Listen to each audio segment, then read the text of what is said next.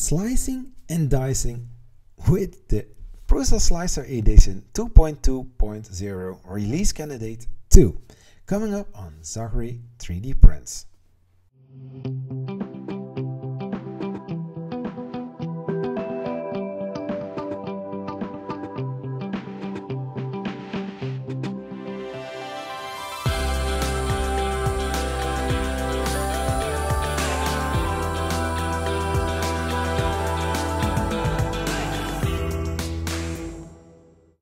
Hello, this is Zachary from Zachary 3D Prints, bringing you how to, reviews and many other cool things you can do with 3D printing. If you're new to this channel and not subscribed yet, please consider subscribing. You can also follow me on Instagram, Twitter, Facebook. I will put every social media link I have in the description of this video. You can if you want support this channel as well. The Patreon link I will put in the description of this video. So like mentioned in the intro, today we are going to use or at least I am going to use Prusa Slicer Edition 2.2.0 release candidate 2. I will put the GitHub download uh, link in the description of this video so that you can also uh, try this beta test out for yourself. Prusa is great slicing software. I also have Prusa Slicer 2.1, but you can also use Prusa Slicer 2.2 beta version. It's great, it's nice, but you can get some bugs in the software. I also did one beta test before. I will put the link of that video in the right corner and but there you can check out that one as well. But now let's get into the video. I have this huge model from Horizon Zero Dawn. It's an awesome thing. I did also a watcher and that one was at 100%. But now I have this Thunderjaw. You can see it right in the back and that one is scaled down because if I'm going to do 100% on my Ender 3, it will not fit. There is an option in Prusa Slicer that you can use. It's called the cut function. Later on in this video, I'm going to show you exactly how you can do this slicing and dicing.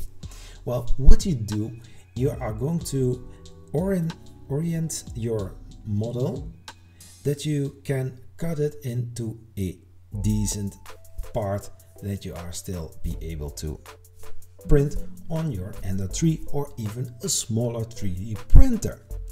You can cut pieces into smaller parts that you can even do it on a print bed of 10 by 10 centimeters. It's endless.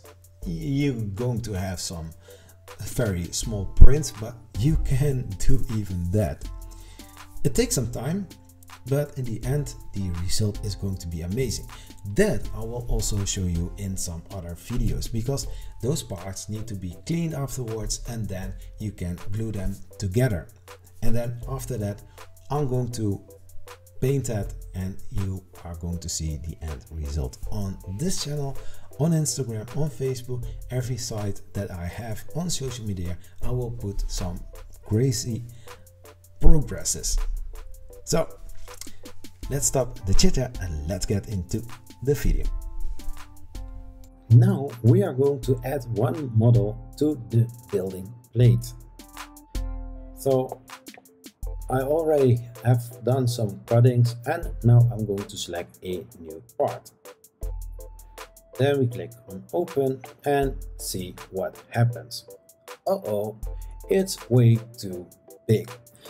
This model is at 100%. And like I mentioned in the intro, we are going to cut this one into smaller parts that are printable on our 3D printer.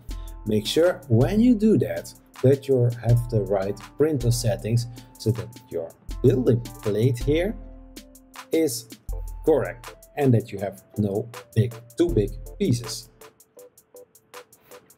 So first thing that we are going to do is turn it around and let's see how big the model is. Well, in Prusa Slicer you have this great tool and happily enough Cura has the same feature. Place on surface. Now we turn it around and we see that it's way too big. When we are going to slice it, you have to keep in mind that we don't, like I mentioned before, have loose or small parts on somewhere on the building plate and that you don't want to turn, throw it away.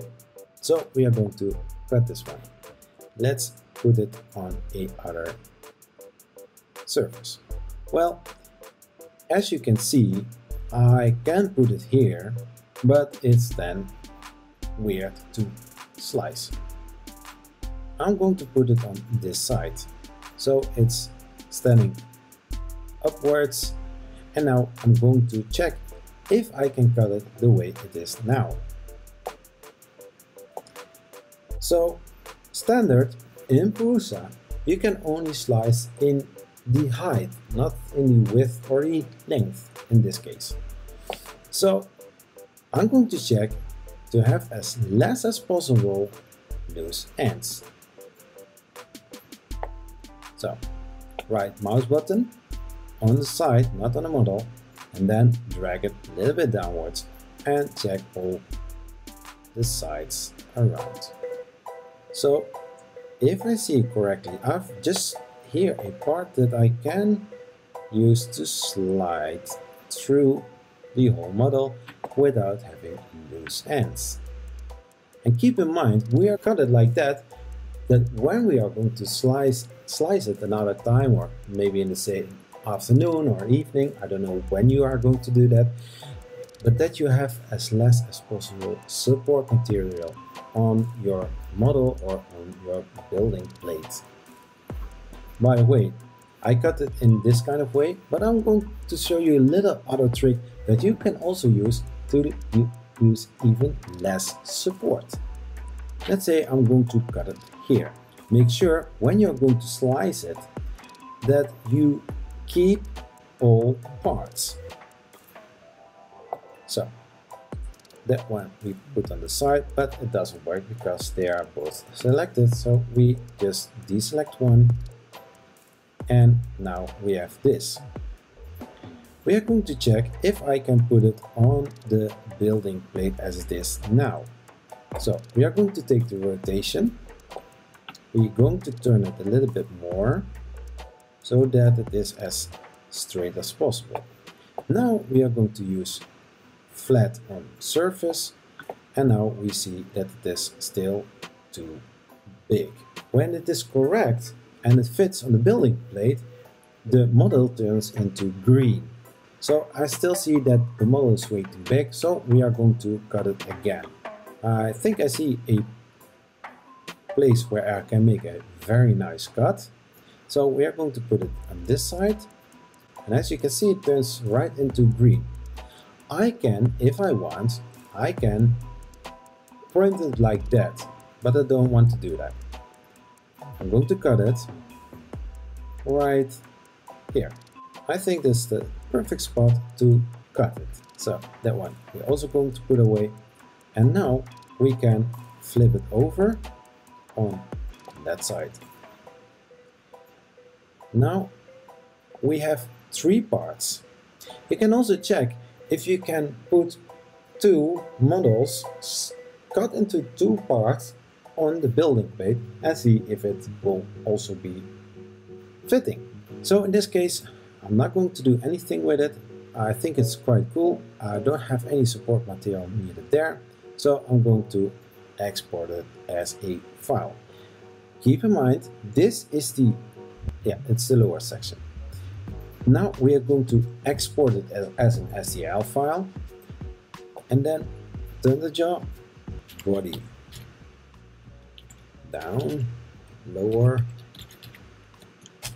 and then it's not the front, it's not the end, it's the middle section. This mid, well, middle, something like that. As, a, as long as you know exactly which kind of part is where. So save and then we can remove it. We do the same thing here. And as you can see, it turns right into green. Later on, you can just turn it around to make it fit even better without any support material. I think it's quite okay like this, but I am thinking to use this side. I will get some support material, whether I slice it like here or do some other parts cutting, and then I still need to use some supports. So I'm also going to export it as an STL file and we are going to use the last part. Here is it. Oh, so like you can see, I can just put it there and then save it and then use it. Well, first thing that I'm going to do is turn it a little bit more that it is also straight. That's nice, not twisted. But as you can see, I have this two parts here that are sticking out and it's going to cost me a lot of support material. So I'm going to try to cut them off. You know what I'm, I thinking? What if I am going to cut them right through this part? Still need some support, but they are not way too high. So I'm going to select it, turn it around, and I put it just on that side. Now I'm going to use the cut tool and see if I can cut them right in between. You get the idea. And what do you know? I think it's way cool like this. And then cut. Then I'm going to select one and I use the flattened surface. I also do can do the same here. I'm going to now I'm going, to export them as separate STL files, one on the left, one on the right. So export as STL file and let's say it's the right side back right we are going to remove that and then we take the last part. And it's also green. You can always little bit turn it a little bit more on the builder plate so that it will also be is within the restrict, restricted areas. So now we are going to save also this STL file. Well, it doesn't matter which kind of name you are going to give. In the end, you have one part left, one part on the right side. You're going to glue them together and then you have a whole part back again. Save and then remove. So to wrap up this video, it's kind of fun to use this kind of 3D slicing software. In this case, the Prusa Slicer 2.2.0 release candidate 2 beta. I'll put the link in the description of this video. You can use to cut big, huge 3D models into smaller parts so that they fit on your 3D printer. But even when this big parts can fit on your 3D printer, you can cut them into smaller parts so that it is way easier to use as less as support material so that you have more clean 3D printed model in the end.